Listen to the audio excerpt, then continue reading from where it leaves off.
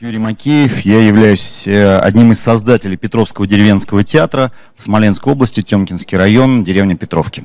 Э, также я являюсь художественным руководителем первого и когда-то единственного в России кулинарного театра, который мы назвали «Театр вкуса», но вы должны сразу понимать, что наш театр не про еду, а про семью. А кулинария и способы приготовления и еда являются предлогом, чтобы поговорить о самом важном.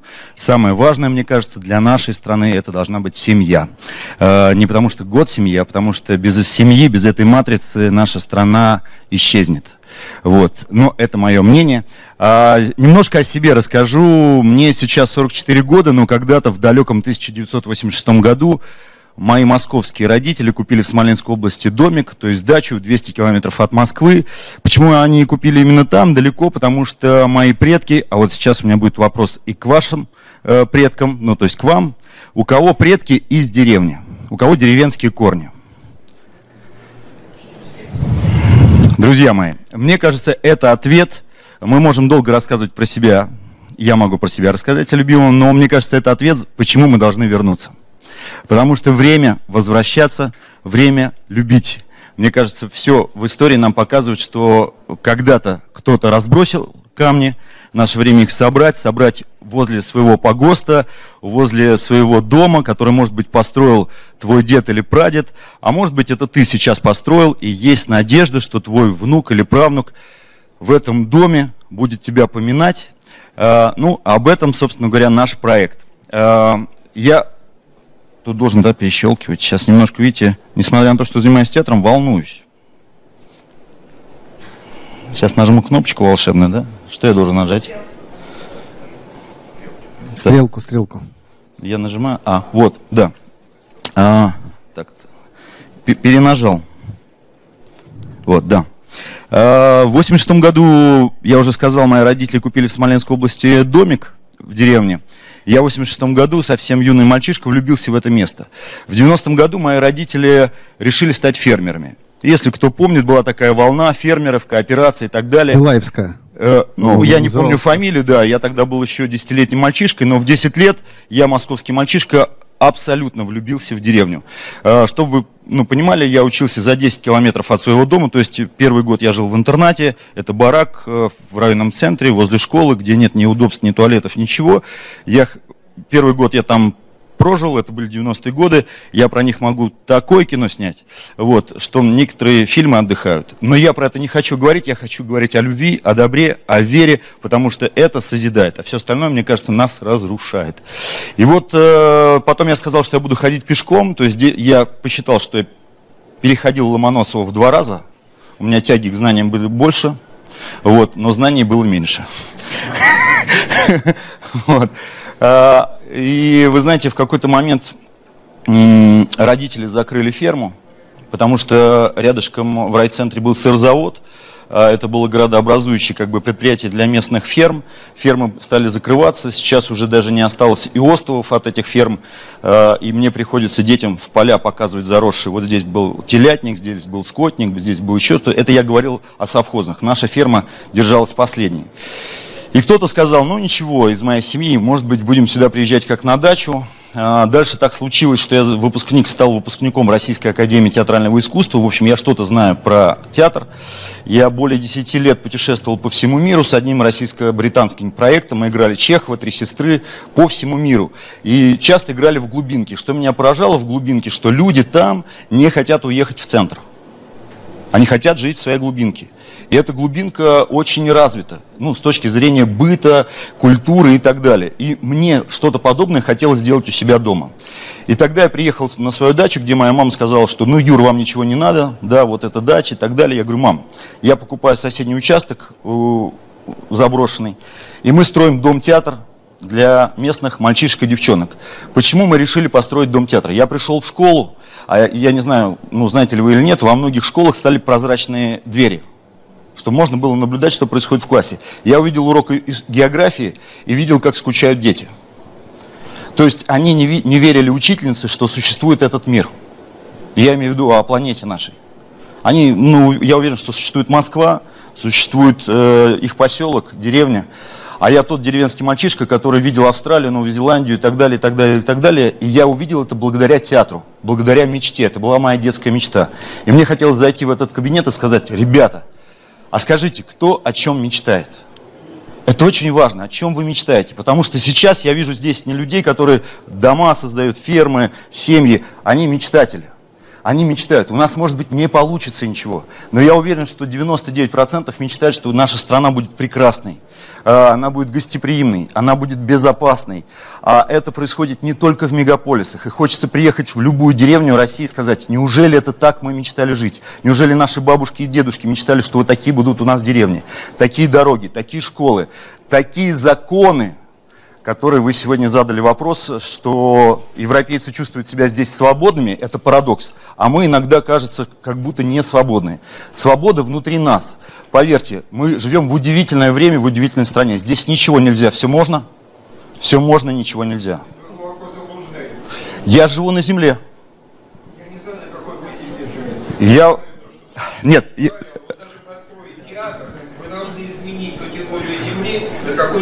деловой зоны. Вы это сделали? Конечно. Конечно. А, а смотрите, а, вот я продолжаю. Вот, смо... вот смотрите, э, у меня тоже борода стала сидеть. А, вот смотрите, я продолжу. А, я, прошу прощения, сейчас можно я закончу презентацию, мы потом, я уверен, что очень много поговорим, обсудим. Э, поверьте, я знаю о всех проблемах, которые есть вот на моей земле, с которыми я сталкиваюсь, сталкиваются те люди. Но что я хочу рассказать? Вот э, в какой-то момент я задал вопрос жителям своей деревни, а у нашей деревни есть праздник, ну то есть есть день деревни. Я стал понимать историю деревни, деревня 300 лет, представляете, она не вчера появилась, не позавчера, не 10, 300 лет там жили люди. Мы в архивы запрос сделали, узнали, кому она когда-то принадлежала, э, сколько было домов, что они производили. И я предложил людям отмечать День деревни. Деревня называется Петровки. Я подумал интуитивно, что, скорее всего, ее назвали в честь Петра и Павла. А потом выяснилось, что есть легенда, что названа она в честь Петра Первого, потому что у нас река Воре, а Воре втекает в Гжать, а Гжать втекает туда в северные потоки, и строился Санкт-Петербург. И когда вы увидите город Гжатск, он же сейчас город Гагарин, вы увидите, что герб – это лодка с товарами на реке Гжать. Сейчас эту гжать можно переплюнуть, а лодка с товарами станет мостом через эту речку. А лодки это были наши леса, которые делали из них, потом строился Санкт-Петербург. Это удивительно, я вам расскажу, когда к нам приехали из Санкт-Петербурга актеры, и кто-то из них говорил, вы знаете, какое-то прям родство, как будто у нас кто-то из предков отсюда. Я говорю, ну поищите, вы, может быть, и не знаете, кто знает, может быть, кто-то из Смоленщины у вас там в Петербурге живет. Так вот, мы стали делать праздник, немножко сейчас э, сбили вы меня, но тем не менее, я вернусь. Мы стали делать праздник раз в год, это называется День деревни. Мы пригласили соседей. На первый праздник у меня пришло 15 человек. Тут очень важно отметить, что я переехал жить в эту деревню. Это место моего дома. Я дом свой сломал, да, и построил вот большой дом-театр. Ну, строю его до сих пор, 10 лет. Мы пригласили соседей. На следующий год было 30 человек, потом 50 человек. Э, в прошлом году более 200 человек, и мы не всех можем принимать. Мы отказываем людям, говорим, друзья, у нас просто маленькая деревня. Деревня не резиновая. Да, да, да. А, а вы тут понаехали. понаехали, деревня не резиновая. Но очень важный момент, что когда я переехал туда с семьей, с детьми, э, моя супруга актриса одного из известного московского театра, первый вопрос это образование, медицина, так далее, так далее, так далее. Много вопросов. Э, мы получили опыт образования в местной школе, потом решили попробовать эксперимент перейти на домашнее обучение. Результат, поверьте, будет только через сколько-то лет, когда мы поймем, э, ну, по нашим детям, наши дети нам скажут, это был правильный эксперимент или неправильный. Но я знаю точно, что сейчас, через 10 лет, мои дети мне благодарны и моей супруге за то, что мы перешли на домашнее обучение, потому что, общаясь, уже поступив в Москву со своими сверстниками, они сказали, пап, как здорово, что мы были дома и в семье. Ты даже не представляешь, как они общаются, о чем они общаются. Э, как здорово, что к нам домой приезжали интересные люди, как здорово, что были фестивали, как здорово, как здорово, как здорово. Э, мои дети пытаются не материться, хотя их сверстники над ними смеются и говорят, почему ты не разговариваешь, как мы. Э, он говорит, а вы разговариваете? Вот. Но в этом есть тоже конфликт. я не знаю, ему только 17 лет, да, а ей 12, а тогда им было меньше, когда они переехали в деревню. Так вот, э, так, что дальше? Это моя дочь бегает с козами. Что мы сделали? У нас моя супруга мне не поверила, что в этой деревне поселятся люди. Через э, примерно 4 года после того, как мы там стали жить на ПМЖ, к нам стали подселяться семьи. Сейчас у нас плюс 4 семьи, в деревне за последние 30 лет появилось 9 детей. То есть 30 лет в деревне не было ни одного ребенка. 9 детей. Не скажу, чтобы мы сильно просили, но нам помогла администрация сделать дорогу въезд. Мы сами убираем свою деревню, то есть мы установили мусорные баки, мы собираем мусор в лесу, и собирая мусор в лесу, мы даже знаем, откуда он там появился. Там тропочки до дома каждого человека. Каждому человеку, кто э, почему-то это относил в лес, мы подарили бак для сбора мусора и, и пакеты. Вот. Э, сейчас пытаемся перейти на раздельный сбор мусора, ну то есть металл можно сдавать в металлолом, как правило, мы даем людям, которые социально не обеспечены, мы им сдаем металл, они его сдают, и поверьте, они иногда покупают и еду. Вот, это важно для нас тоже. Вот. Э, что еще важно? У нас появились животные в радиусе 6-7 километров. Вначале было 5 километров, но, к сожалению, радиус увеличивается. В радиусе 6 километров ни в одной из деревень нету сельскохозяйственных животных.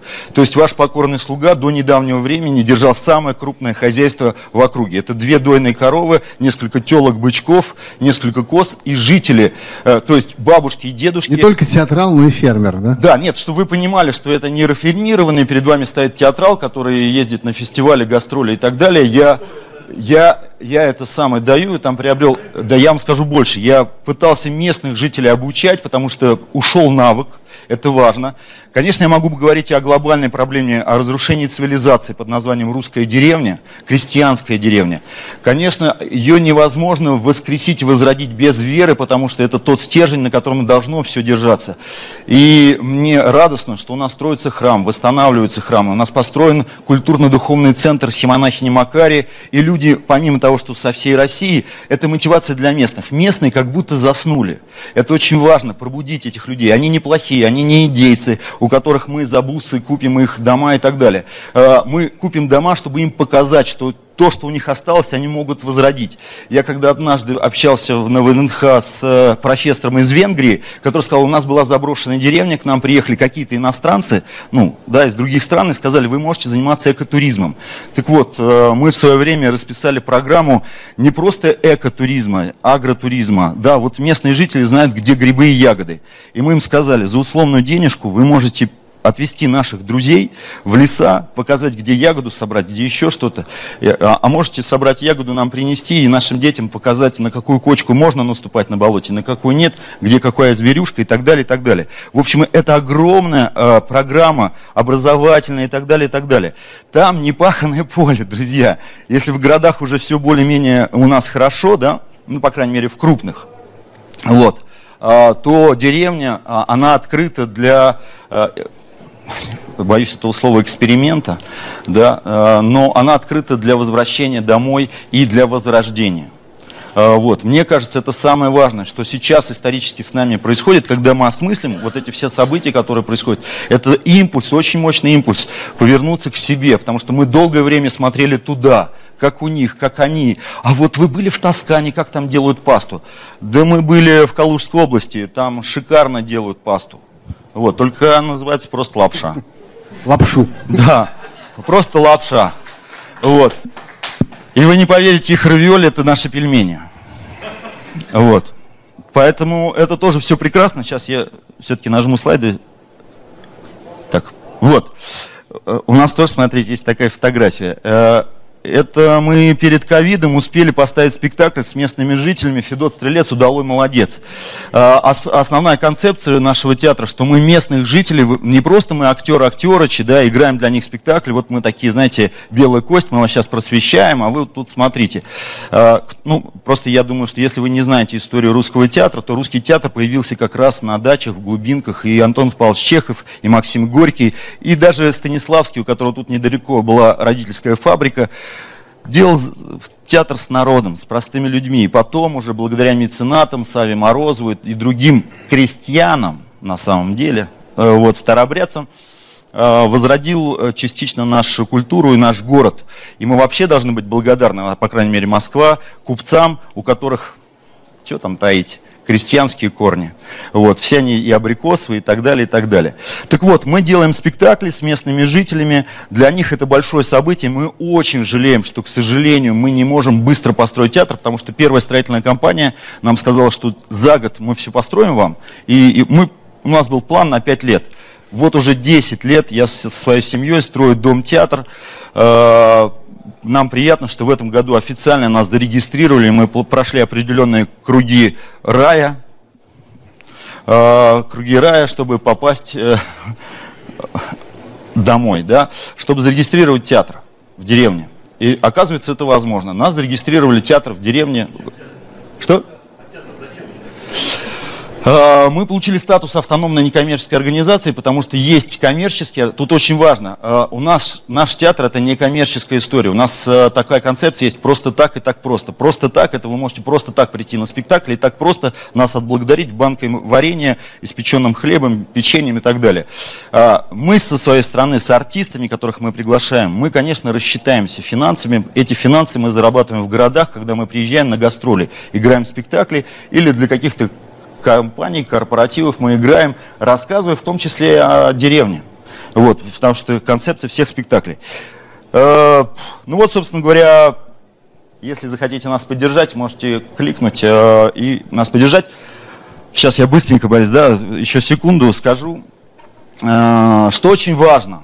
Что очень важно. Сегодня сказали про любовь, про внимание – у нас еще к этому добавляются две вещи, которые частью наших правил являются. Первое правило – чистые руки, чистая совесть. То есть важно быть честным. Это будет очень сложно быть честным, говорим мы нашим детям, но это важно хотя бы быть честным перед самим собой.